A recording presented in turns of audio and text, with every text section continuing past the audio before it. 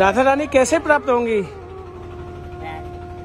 राधा रानी का नाम का महिमा राधा रानी का नाम का जो कीर्तन करता है, दिन वो सांस सांस में होना चाहिए। जैसे हमारा,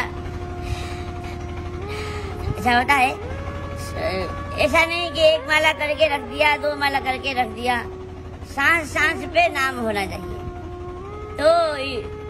जल्द जल्दी ही राधा रानी का कृपा मिलेगा। जल्दी हर सांस में अगर राधा रानी का नाम है तो जल्दी राधा रानी मिल जाएँगी।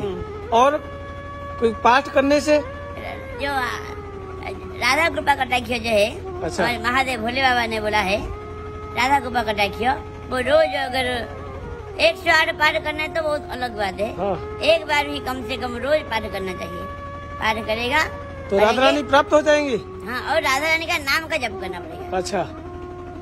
राधा रानी का सुनो। हाँ। राधा रानी का नाम का महिमा कितना है जानते हैं? वो एक पुराण में लिखा है एक हज़ार बार नारायण विष्णु का नाम के एक राम नाम बराबर है। अच्छा।